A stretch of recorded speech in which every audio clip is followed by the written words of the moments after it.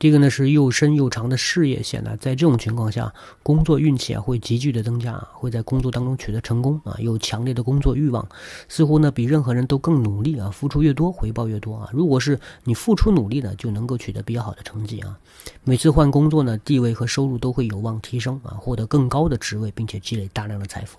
因为你本身这个事业线很深的话，一生的工作运势都是比较稳定，都不错。但是呢，如果环境啊不适合，不适合自己啊，可能就无法发挥它的全部的潜力。那么第二个呢，是食指巽宫财位的一个方形纹啊，这个食指根部啊称为木星球啊。这个矩形的波峰是形成正方形的短线，也有可能是井字纹啊，或者是正方形或者棱形纹路啊，这种棱形的出现，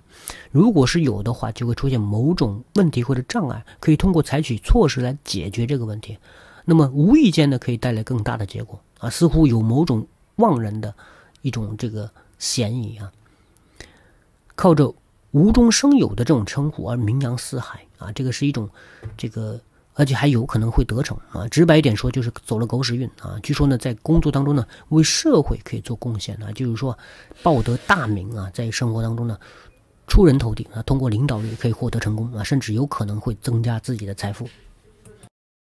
第三个呢是幸运线，幸运线是努力线的一种啊，是指从这个生命线开始啊，一条支线啊，有各种各样的说法了，但是它大致的朝向是朝向无名指啊。如果是有这种情况的话，据说是可以。